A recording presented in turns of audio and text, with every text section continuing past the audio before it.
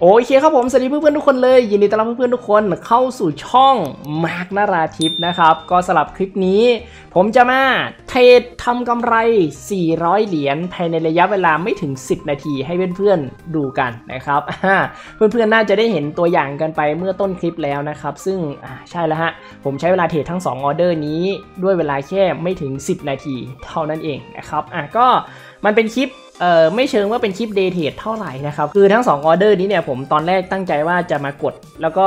กดเล่นๆเฉยๆนะฮะอารมณ์ประมาณว่าแบบเอออยากทดสอบว่าสิ่งที่เข้าใจอะมันถูกต้องไหมนั่นเองนะครับ แล้วคราวนี้กลายเป็นว่า position ที่ได้อะมันสวยมากนะครับ แล้วก็ส่งผลให้ชนะรวดทั้ง2ออเดอร์เลยนั่นเองนะครับ แล้วผมเห็นว่าทั้ง2ออเดอร์นี้ดูแล้วมันมีประโยชน์มากๆเลยนะครับ ก็ key สำคัญที่ได้จากทั้ง2ออเดอร์นี้คิดว่าน่าจะเป็นประโยชน์ให้กับเพื่อนๆมาก ๆเลยนะครับ น่าจะช่วยให้การเทรดของเพื่อนๆเนี่ยดีขึ้นนะครับผมก็เลยเอามาเป็นตัวอย่างในการเข้าออเดอร์ ให้เพื่อนๆดูกันในคลิปนี้นั่นเองนะครับมาเพื่อไม่เป็นการเสียเวลาก่อนที่เราจะไปรับชมเนื้อหาในคลิปนี้กันนะครับฝากเพื่อนๆกดไลค์เป็นกำลังใจให้กับผมคนละ1ไลค์หน่อยนะครับและถ้าเพื่อนๆอยากจะติดตาม EP ต่อๆไปของคลิป Day Trade ของผมอีกนะครับฝากเพื่อนๆกด Subscribe และกดกระดิ่งกันเอาไว้ด้วยนะครับเวลาผมอัพคลิปใหม่ๆเพื่อนๆจะได้ไม่พลาดกันนั่นเองนะครับอ่าตามนี้เลยนะฮะโอเค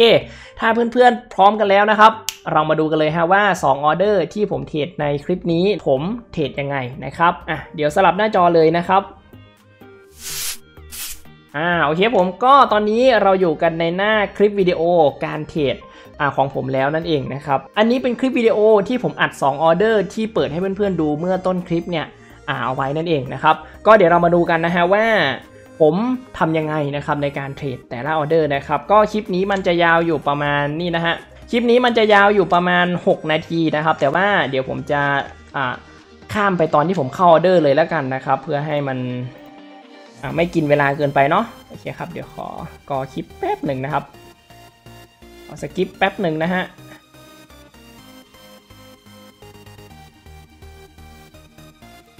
อะนี่นะครับถ้าจะไม่ผิดแถวๆนี้แหละนะครับ ผมน่าจะเข้าออเดอร์แล้วนะครับอะยังยังวิเคราะห์กราฟอยู่ โอเคผมก็ ถ้าจะไม่ผิดเดี๋ยวกราฟขึ้นแท่งใหม่ ผมจะเทรดลงเลย1ออเดอร์นะครับมาเดี๋ยวมาดูกันนะครับว่าผมวิเคราะห์ยังไงนะครับโอเคครับอะนี่นะฮะ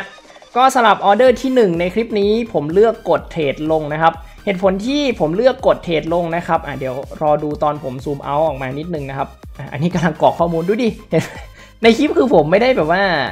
ไม่ได้เซตมาเพื่อเตรียมตัวจะมาเทรด Day Trade เลยฮะคืออันนี้ผมแค่อยากจะกดเพื่อทดสอบความเข้าใจของตัวเอง ล้วนๆเลยนะครับ จะเห็นว่าผมไม่ได้เตรียมอะไรมา เพื่อจะอัดคลิปเดย์เทดเลยนะครับ เห็นไหมอะก็สักครู่นะครับ ตอนนี้ในคลิปผมมันยังไม่ซูมเอาออกมานะ ผมยังไม่ซูมเอาออกมานะครับเดี๋ยวรอแป๊บหนึ่งนะ นี่นะครับ ก็ออเดอร์ที่หนึ่งเนาะ ผมเลือกกดเทรดลงนะครับ อะไม่เป็นไร ไม่ซูมเอาออกมาก็วิเคราะห์ อ่า อย่างนี้เลยแล้วกันนะครับ อะนี่ไงซูมแล้วซูมแล้วก็สำหรับออเดอร์ที่ 1 นี้นะครับ เหตุผลที่ผมเลือกกดเทรดลงนะครับ อันนี้ก็เป็นการเทรดลงตามทฤษฎีของ Product Cycle นั่นเองนะครับการปัจจุบันเนาะนะช่วงแรกนี้นะครับ อยู่ในช่วงของ Introduction กับ Growth นะครับ ซึ่งวิ่งขึ้นไปสูงมากพอสมควรแล้วนะครับ แล้วก็ตอนนี้เขาวิ่งขึ้นมาสูงมากพอสมควรนี้นะครับเขามาเบรกอยู่ตรงนี้นะครับ ก็คืออ่ามาหยุดอยู่ตรงนี้เนาะลักษณะคือวิ่งขึ้นต่อไม่ไหวอย่างเห็นได้ชัดเจนนะครับ แปลว่าราคาปัจจุบันน่าจะเข้าสู่ช่วงของ Maturity แล้วนั่นเองนะครับ แน่นอนฮะ เมื่อผ่านช่วง Maturity หลังจากนี้ก็แปลว่าราคาน่าจะเข้าสู่ช่วงของ Decline หรือว่าช่วงของการกลับตัวลงมาได้แล้วนั่นเองนะครับอะพอผมเห็นอย่างนี้ปุ๊บนะครับ ราคาน่าจะ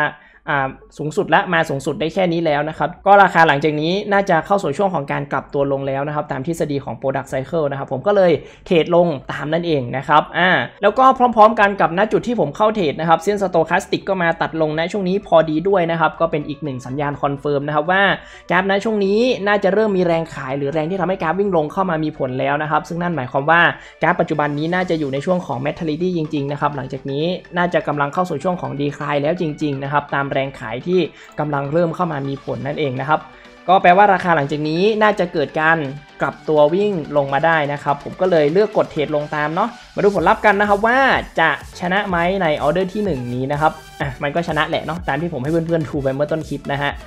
อ่านี่เนาะก็จบไปอย่างสวยงามในออเดอร์ที่1นะครับ ก็เดี๋ยวไปลุยกันต่อในออเดอร์ที่ 2 เลยนะครับออเดอร์ที่ 2 ผมจะ Winning Martingale นะครับก็คือเอากำไรที่ได้เนาะมาทบกับเงินต้น 200 เหรียญที่เทรดไปในออเดอร์ที่1นะครับก็ออเดอร์ที่ 2 ผมจะเทรดที่ 360 เหรียญนั่นเองนะครับอ่าโอเคครับก็เดี๋ยวไปลุยกันต่อเลยนะครับอ่านี่เนาะก็กำไรที่ผมเทรดได้จากออเดอร์ที่1นะครับก็คือ 160 เหรียญนะครับก็ผมเอามารวมกับเงินต้น 200 เหรียญนะฮะแล้วก็ไปเทรดต่อในออเดอร์ที่ 2 เลยนั่นเองนะครับ ก็อันนี้นะครับผมยังอยู่ในกราฟเดิมนะครับออเดอร์ที่2ยังอยู่ในกราฟเดิมนะครับ เพราะว่าผมเห็นว่าราคายังมีโอกาสวิ่งลงต่อได้นะครับเหตุผลที่ผมคิดว่าราคายังวิ่งลงต่อได้นะครับเพราะว่านี่นะอย่างที่ทุกคนเห็นนะครับ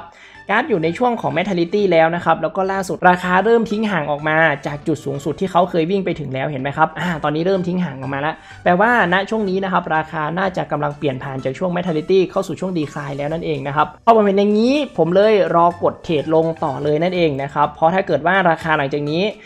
จะเข้าสู่ช่วงดีคลายจริงๆ ยังไงหลังจากนี้เขาก็น่าจะกลับตัวลงได้นั่นเองนะครับอ่าเห็นไหมฮะตอนนี้ผมเริ่มตีเส้นเทรนมาครอบแล้วนะครับอ่า ก็ทุกคนจะเห็นนะฮะว่า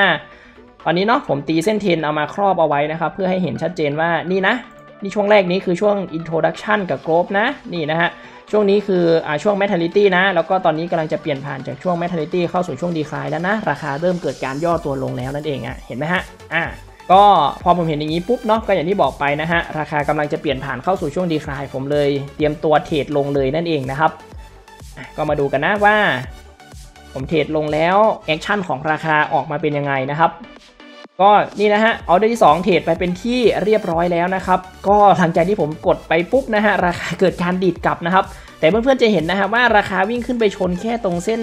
เส้นเทนตรงนี้เนาะที่ผมตีเฉียงลงมาเห็นไหมฮะแล้วหลังจากนั้นเขาก็เกิดการดีดกลับอย่างเห็นได้ชัดเจนเลยนะครับ ซึ่งเส้นเทนตรงนี้นะครับ ผมตีแล้วทำไมมันถึงมีนัยสำคัญ ผมตีแล้วอ้างอิงกับอะไรนะครับ ผมตีแล้วอ้างอิงกับตรงนี้นั่นเองนะครับ เห็นไหมฮะ อ้างอิงกับปลายไส้เทียนของกราฟแท่งนี้ แล้วก็ปลายไส้เทียนด้านบนเนาะของกราฟแท่งนี้นั่นเองเห็นไหมฮะ ตีอ้างอิงปลายไส้เทียนของกราฟ 2 แท่งนี้เฉียงลงมานะครับแนวตรงนี้นะครับเป็นแนวที่มีนัยยะสำคัญพอสมควรเลยนะครับเพราะว่ากราฟก่อนหน้านี้เนี่ยเคยวิ่งมาถึงแนวนี้ใช่ไหมฮะแล้วก็หลังจากนั้นก็มี action ของการกลับตัวลงนั่นเองนะครับอ่าเราจะสังเกตได้จากไส้เทียนนะครับที่เขาเคยวิ่งลงมาถึงด้านล่างนี้เลยนั่นเองนะครับแปลว่าแนวตรงนี้น่าจะมีนัยยะสำคัญพอสมควรเลยนั่นเองนะครับที่แรงขายน่าจะมีอยู่มากแล้วน่าจะกดราคาให้ ต่ำลงมาได้นั่นเองนะครับหรือถ้าพูดได้เข้าใจง่ายก็คือแนวนี้น่าจะมีนัยยะมากพอสมควรเลยนั่นเองนะครับถ้าเกิดว่ากราฟวิ่งขึ้นมาชน น่าจะโดนแรงขายที่ดักรออยู่ตรงแนวนี้ให้กดลงมาได้นั่นเองนะครับนี่นะฮะเพื่อนๆจะเห็นว่าราคาเกิดการทิ้งตัวลงมาอย่างเห็นได้ชัดเจนเลยนะครับ ก็มาดูกันนะว่าผลลัพธ์ที่ได้จะเป็นยังไงนะครับราคาเริ่มเกิดการทิ้งตัวลงมาเรื่อยๆนะครับอ่า ก็สำหรับออเดอร์ทั้ง 2 ออเดอร์นี้นะครับ จะเห็นว่าผมใช้ทฤษฎี Product Cycle ในการเข้าออเดอร์ทั้ง 2 ออเดอร์เลยนะครับ จะเห็นว่า Stochastic เนี่ยผมเอามาเป็นตัวประกอบการตัดสินใจเฉยๆนะครับออเดอร์สุดท้ายเนี่ยผมแทบไม่ได้ใช้เจ้าตัว Stochastic ในการเข้าเทรดเลยนะครับ จะเห็นว่าผมแค่ตีแนวเนาะแล้วก็เข้าออเดอร์เท่านั้นเองนะครับอ่าเห็นไหมฮะเพราะฉะนั้นสำหรับเพื่อนๆที่มาถามผมตลอดนะครับว่าเอ้ยทฤษฎี Product Cycle นี้มันเอามาใช้เทรดจริงได้ไหมนะครับก็คิดว่านี่น่าจะตอบได้แล้วนะครับสรุปคือใช้เทรดจริงได้นะอ่านี่นะครับ ก็สำหรับออเดอร์ที่ 2ชนะนะครับ ส่งผลให้ตอนนี้พอร์ตของผมจากตอนแรกที่มีอยู่ 1,000 เหรียญนะครับ เติบโตมาเป็นอ่า1,448 เหรียญแล้วนะครับ หรือว่าตอนนี้ผมทำกำไรมาได้ 448 เหรียญแล้วนั่นเองนะครับอ่านี่เลยนะครับก็คือผลงานของผมในวันนี้นะครับ จบอ่าเทรดทั้งหมด 2 ออเดอร์นะครับ ชนะรวดทั้ง 2 ออเดอร์เลยนะครับ ก็ทำกำไรมาได้อยู่ที่นี่นะครับ 448 เหรียญนนะครับ คิดเป็นเงินไทยคร่าวๆ ก็อยู่ที่ประมาณนี้นะครับ 13,440 บาททวนนั่นเองนะครับ ตีเป็นเอ่อ13,000 บาททวนแล้วกันนะครับอ่านี่เลยนะครับก็คือผลงานของผมในวันนี้นั่นเองนะฮะ ก็หวังว่าทั้ง 2 ออเดอร์นี้นะครับจะมีเก็บความรู้เล็กๆ น้อยๆ ที่เพื่อนๆ สามารถนำไปปรับใช้กันได้นะครับ และหวังว่าเก็บความรู้ตรงนี้นะครับ มันจะช่วยให้การเทรดของเพื่อนๆ ดีขึ้นด้วยนะครับอ่าโอเคผมก็ อจบคลิปนี้เอาไว้เท่านี้ก่อนแล้วกันนะครับ ก็อธิบายเกี่ยวกับทั้ง2ออเดอร์ไปครบแล้วนะครับ ก็คิดว่าน่าจะเป็นประโยชน์กับเพื่อนๆทุกคนนะฮะ ก่อนจากลากันไปถ้าเพื่อนๆชอบคลิปนี้ เห็นว่าคลิปนี้ดีมีประโยชน์ฝากกดไลค์เป็นกำลังใจกับผมคนละ 1 ไลค์หน่อยนะครับและถ้าเกิดว่าเพื่อนๆอยากจะติดตาม EP ต่อๆไปของการเทรดของผมนะครับฝากเพื่อนๆกด Subscribe และกดกระดิ่งกันเอาไว้ด้วยนะครับเวลาผมอัพคลิปใน EP ต่อๆไป เพื่อนๆจะได้ไม่พลาดกันนั่นเองนะครับสำหรับ EP นี้ผมขอตัวไปพักผ่อนก่อนแล้วครับ แล้วเดี๋ยวเจอกันใหม่ใน EP ต่อไปครับผม สวัสดีครับ